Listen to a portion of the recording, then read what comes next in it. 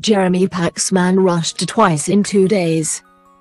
Jeremy Paxman has revealed he had to be rushed to hospital twice in two days after suffering chest pains and an injury that left him needing a head wound glued.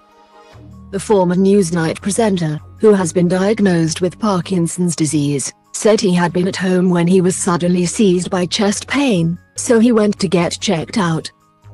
Then according to the Mail, he had to go back the next day after an injury at his desk left him looking all the world like a tonsured 9th century Irish monk who had got involved in a rather vicious punch-up.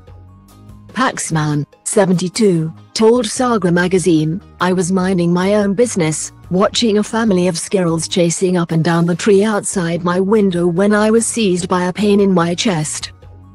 I have read enough to know that heart attacks are usually accompanied by pains down the arm.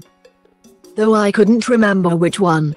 Since both seemed to be in working order, I assumed I was alright. Double quote.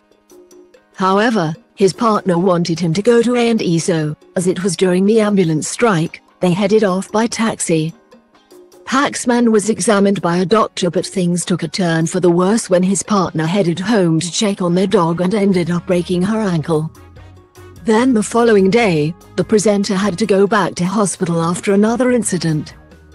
He said he had been breathing oddly and that he was attacked by his chair and thrown against his desk, which left him bleeding.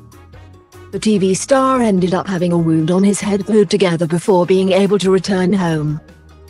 Paxman announced in 2021 that he had been diagnosed with Parkinson's and went on to step away from hosting University Challenge. The NHS says Parkinson's is a condition in which parts of the brain become progressively damaged over many years.